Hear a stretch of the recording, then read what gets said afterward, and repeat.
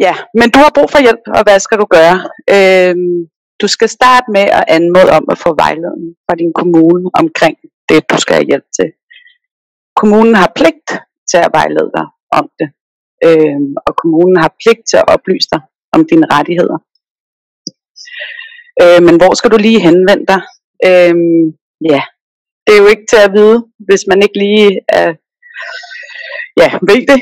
Øhm, så det skal du selvfølgelig vejledes i. Så hvis du for eksempel henvender dig i borgerservice, så øh, skal dem, der sidder der, de skal fortælle dig, hvor du skal gå hen. Det har de pligt til. Kommunen har faktisk pligt til rigtig, rigtig mange ting.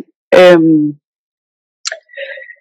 råd, øh, råd og vejledning, det er faktisk en social ydelse. Så hvis du ringer og, og anmoder om at få vejledning og rådgivning og og de giver afslag på det, så kan man faktisk øh, klage over det. Øhm, så ja, du skal altid henvise til, at du har vejledningsbrug. Øhm, der er faktisk ikke rigtig nogen krav til, hvordan du søger om støtte. Det kan både være mundtlig, og det kan også være skriftlig.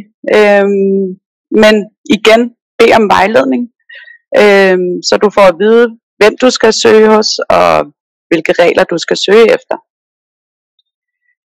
det er også en rigtig god idé at bede øh, kommunen om en kvittering på, at de har modtaget din ansøgning. Øhm, det, det er også en god idé for ligesom at sikre, at kommunen har forstået, at du faktisk søger om hjælp, og du ikke kun søger om vejledning. På den her kvittering, der vil også være en dato, og den er sådan set ret vigtig i forhold til, hvis du søger øhm, om noget økonomisk støtte. For hvis det er nogle penge, du ligesom selv har betalt og søger om noget støtte, så kan du faktisk få fra selve ansøgningsdatoen. Øhm, du skal også kunne sørge for at dokumentere, hvad du har søgt om. Det kan du for eksempel gøre ved at ja, sende et brev til dig selv med ansøgningen. Øh, jeg synes, det er en rigtig god idé at få alt på skrift fra kommunen. Øhm, fordi ja, så, så er der ligesom ikke nogen tvivl øh, om, hvad der er blevet, blevet gjort. Øhm, du har også ret til at få et møde, så du kan fremlægge din sag mundtligt.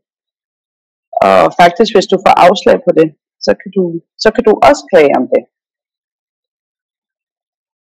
Der er selvfølgelig nogle ting, du skal være opmærksom på. Øhm, kommunens vejledning, for eksempel hvis du ringer og beder om vejledning, Øh, den kan ofte minde om en mundtlig afgørelse. Øh, og hvis du så for eksempel bliver vejledt om, at kommunen ikke kan hjælpe, så kan du faktisk bede om en skriftlig afgørelse med en klagevejledning.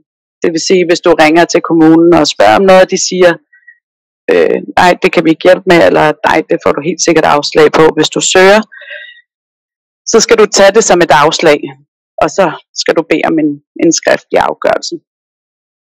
Øhm, så er der det der med tavshedspligt. Øhm, kommunen øh, må ikke videregive fortrolige oplysninger om dig til andre, uden at du har givet tilladelse. Det skal man også være opmærksom på.